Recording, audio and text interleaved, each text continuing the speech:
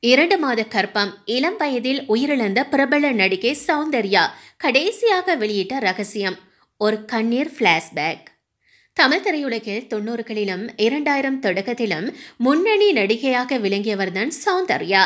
புகழின் உச்சத்தில் இருந்தபோதே திடீரென இரண்டாயிரத்தி நான்காம் ஆண்டு ஏப்ரல் மாதம் பதினேழாம் தேதி விமான விபத்தில் மரணமடைந்தார். அப்போது அவருக்கு வயது முப்பத்தி ஒன்று. சௌந்தர்யாவுக்கும் அவரின் உறவினரான ரகு என்பவருக்கும் இரண்டாயிரத்தி மூன்றில் திருமணம் நடந்த நிலையில் திருமணமான ஓரே ஆண்டிலேயே அவர் உயிரிழந்துள்ளார்.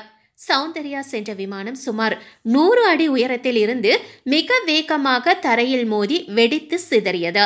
விமான தளத்துக்குள்ளேயே அந்த விபத்து நடந்தது. இது சௌந்தர்யா அமர்நாத் விமானி ஜெய் பிலிப்ஸ் ரமேஷ் சதன் என்ற பாஜக பிரமுகர் ஆகிய நால்வரும் அந்த இடத்திலேயே உயிரிழந்துள்ளனர்.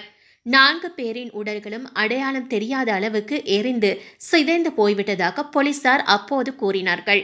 இந்த நிலையில் சௌந்தர்யாவை தமிழ் சினிமாவில் அறிமுகப்படுத்தியவரும் சௌந்தர்யாவின் வழிகாட்டியாக விளங்கியவருமான இயக்குனர் ஆர் வி உதயகுமார் இறப்பதற்கு முன்னர் சௌந்தர்யா தன்னிடம் கடைசியாக சொன்ன ரகசியம் குறித்து ஒரு பேட்டியில் முன்னர் கூறினார்.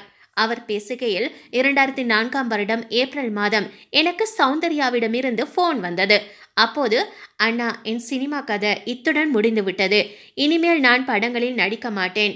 ஆப்த மித்ரா தான் என்னுடைய கடைசி படம் என்று குறிப்பிட்டார். உங்களிடம் ஒரு ரகசியம் சொல்கிறேன். நான் இப்போது இரண்டு மாத கர்ப்பமாக இருக்கின்றேன் என்று என்னிடமும் என் மனைவியிடமும் மாலை ஏழரை மணி முதல் எட்டரை மணி வரை ஒரு மணி நேரம் பேசிக்கொண்டிருந்தார் அதில் தன் அண்ணனின் வற்புறுத்தலால் தேர்தல் பிரச்சாரத்துக்கு செல்வதாக அவர் குறிப்பிட்டார். அதன் பின்னர் மறுநாள் காலை ஏழரை மணிக்கு டிவி பார்த்தபோது என்னால் ஜீரணிக்க முடியவில்லை. அதிர்ச்சியாக இருந்தது. அவர் விபத்தில் இருந்து விட்டாரா என்ற அதிர்ச்சி என்னால் தாங்கிக் கொள்ள முடியவில்லை. அவர் வீட்டு கிரகப்பிரவேசத்துக்கு செல்ல முடியவில்லை. திருமணத்துக்கு செல்ல முடியவில்லை. கடைசியாக அவர் இறப்பதற்கு தான் அவர் வீட்டுக்கு செல்ல முடிந்தது.